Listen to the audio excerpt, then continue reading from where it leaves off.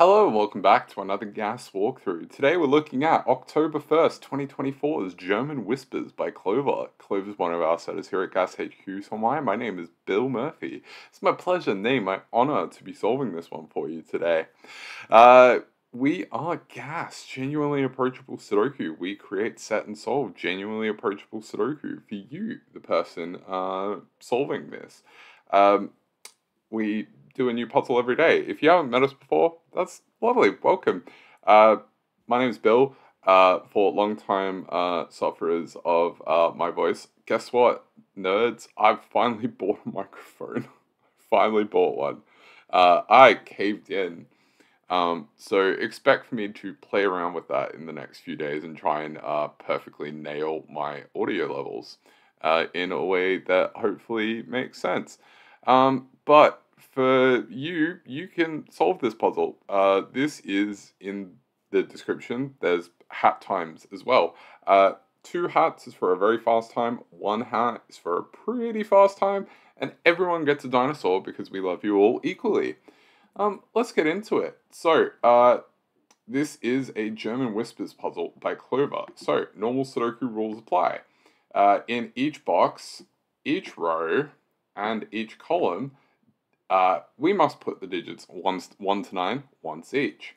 Now, uh, the other super secret trick is we have some green lines in the grid. Now, these are German whisper lines, and along each green line, adjacent digits must have a difference of 5 or more. That's it. That's all you need to know to solve this puzzle. Um, what I would say is uh, give it a go. It's going to be pretty good. I haven't tested this one, which is honestly pretty cool for me. Um, so you're getting a almost blind solve from me. Um, I know some tricks about German whispers that I'm more than happy to share with you. Uh, but I would recommend that you give this puzzle a go first. Uh, so you should do that. And meanwhile, I'm going to solve this. Uh, so let's get to it. So, uh, because we can only have uh, up to the uh, number 9 in a Sudoku, 4 must always be next to 9. Similarly, 6 must always be next to 1. Uh, now, this is either 6, 7, or 8, and that is either 2, 3, or 4. We don't really know a lot about that. Um, but the next most restricted digit is uh, 3 and 7. So let's go have a look at those. So this 3, uh, because I have a 9 there, the only way that that can work is if I have an 8. This has to be an 8 or a 9. Uh, seven needs to be next to a uh, one or a two. Uh, this must be a one. This can either be a one or a two. Um, this two can either be next to seven, eight, or nine, but that's an eight, nine pair, so that's pretty funky. What? Oh, nice. Uh, eight eliminated from there.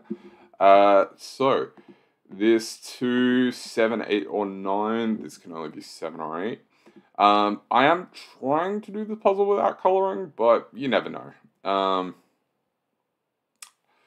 ooh, uh, uh, do I have anything else? Uh, let's, can I do anything funky? Uh, one.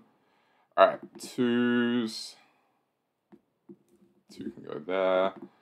Um, and oh, uh, where does eight go in the center box? That's pretty good. Um, eight can only go uh, can only go there, which is pretty useful again. Um, this is a seven. Uh, oh, what is that? Well, it can't be a one because I got a one up there, so that's two. Uh, this is one, three, or four. It's not super helpful.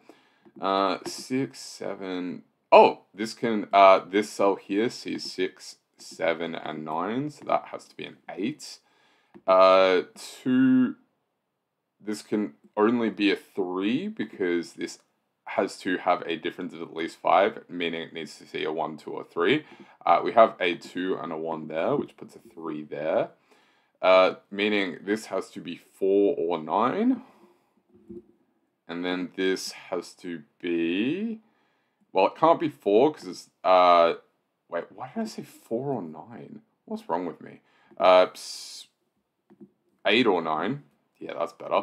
Uh, and now this digit uh, here needs to be a low digit, so from one, two, three, four. Um, so it can't be two or three, and if it was four, it would have a difference of four with this eight, so it needs to be a one. Um, am I doing this the hard way? Uh, maybe. I don't know, man. It's been a long day. All right. Uh, six or seven goes there. That's pretty interesting because that means the only thing that this could be is one or two, uh, which means that's a one-two pair. Oh, um, seven in this box here, in box five. Seven can't go on those two cells because we have a seven there. Putting a seven here, which puts a six and a one there.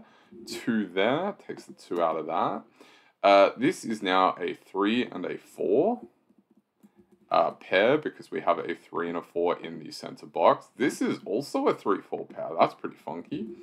Uh, so this is well, uh, where does six go in column five? Well, six can't go here. Wait, six can't go there. So six goes here, here, nine, and seven, and that is the center box done. Uh, two, one of those two. So, uh, all right. Uh, one, two. This is either three or four. Um, can I do anything funky with this? This is either three or four, so not really. Uh, uh, oh, that has to be either an eight or a nine. Oh, that's nice. That's a 8-9 pair that's sort of useful. Uh, 1 and 6 in box 8. We have a 1 and 6 here, which rules it out of those two cells. So this is a 1 and 6. Oh, yeah, we know which way that goes. Uh, now, this is a 4-5 pair, meaning that has to be 3, that has to be a 4. It takes 4 out of there. Um, this is a 3 and a 5. A 1 here. Uh, one, two, oh, next to an eight, can't have a four, so that has to be a three. Uh, six, seven, and nine, I can't really do much with that right now. Anyway, that's a two, so that's a two and a seven in those two cells, because that was a two, seven pair. Uh, that's that's either an eight or a nine. That's fine, I guess. Um, and this is also an eight. Oh, nice. Okay, I finally I see what's happening.